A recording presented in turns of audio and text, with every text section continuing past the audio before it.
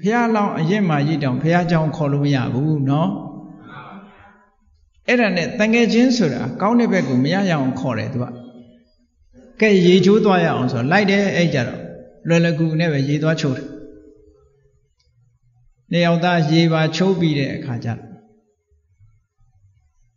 မြစ်စိတ်ကနေတက်လာအဲ့ဒီတက်တဲ့အခါကျတော့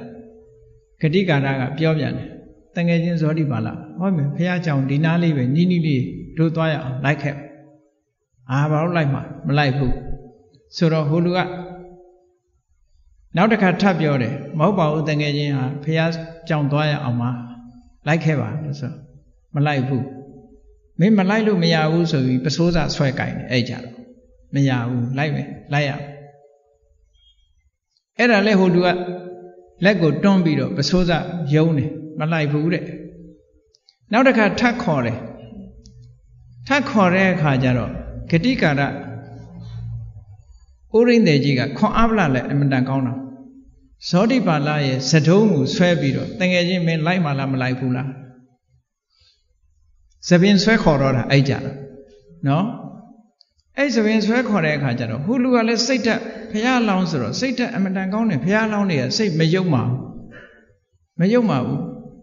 အထင်မြင်လေးတော့သူတို့မှားခြင်းမှားနေလိမ့်မယ်စိတ်ယုံမှမရှိဘူးအတွေးလည်းမလွဲတတ်ဘူးဖះလောင်းတွေကအဲ့ဒါဟာဘုရားလောင်းရဲ့စွန့်ရည်တတ္တိပဲသပင်ဆွဲခေါ်တဲ့အခါကျတော့ကြံတဲ့လူဆိုရင်ရံဖြစ်တော့မှာပဲမဟုတ်လားမင်းငါသပင်ဆွဲရမလားမင်းစော်ကားလာကြီးလားဆိုပြီးတော့အဲ့ဒီနေရာတွေမဲ့ရံပွဲဖြစ်တော့မှာသူကဘယ်လိုစဉ်းစားလိုက်တုံးဆိုဩ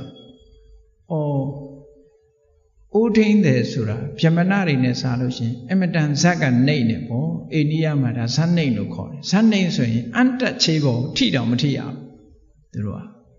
အခုလို့သပင်ကင်ဖို့ဆိုတာအမတန်အဝေးကြီးအဲ့တော့သူ့စိတ်ထဲမှာဘလို့တွေးတုံဆိုဩငါသပင်တောင်ဆွဲခေါ်တယ်ဆိုတော့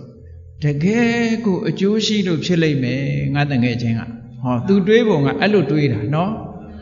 မှန်ကန်တဲ့အတွေ့ ငါတငယ်ချင်းကငါ့ကိုဒီလောက်ထိအောင်စုဒီလိုငါသပင်တောင်ဆွဲခေါ်တယ်ဆိုတာဟာတာမန်တော့မဟုတ်ဘူးတကယ်အကျိုးရှိလို့ဖြစ်လိမ့်မယ်ဆိုတော့တငယ်ချင်းမင်းငါစပင်တော့မဆွဲနဲ့လွတ်ငါလိုက်မယ်ဆိုပြီးဟောလိုက်သွားဖះစီလည်းရောက်ရောဖះကတရားဟောတယ်ကတ္တမမြတ်စွာဘုရားတရားဟောတဲ့အခါကျတော့ဖះတရားဟောလိုက်တဲ့အခါကျတော့လေညာမတန်ထက်တဲ့ပုဂ္ဂိုလ်ဆိုတခါတည်းသဘောပေါက်သွား ပေါက်သွားတာအိမ်ကိုမပြန်တော့ဘူး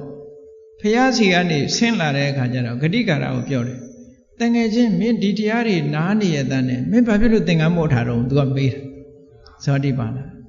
တငယ်ချင်းမင်းဘာလို့သင်္ကန်းမို့ထားတော့ဆိုတော့ဂရိကာရပြန်ပြောတယ်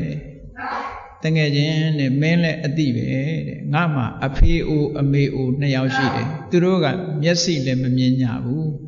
ငါမလှုပ်ကြွေးရင်ဘယ်သူလှုပ်ကြွေးမှာတော့အမေအဖေတွေလှုပ်ကြွေးဖို့အတွက်ငါသင်္ကန်းမောနိုင်တာပါပြောတဲ့အခါကျအေးအဲ့ဒါဆိုလို့ရှိရင်လည်းဟုတ်တယ်ငါကတော့အိမ်မပြန်တော့ဘူးကွာသင်္ကန်းဝတ်တော့မယ်ချက်ချင်းပဲဆုံးဖြတ်ပြီးတော့ဖះစီပြန်ဝင်ပြီးရဟန်းဖြစ်ခွင့်တောင်းတာအဲ့ဒီဘဝမှာဖះလောင်းဟာရဟန်းရဟန်းဖြစ်သွားပါတယ်ဂေါရမမြတ်စွာဘုရားလောင်းအဆိုရှိတယ်မို့လား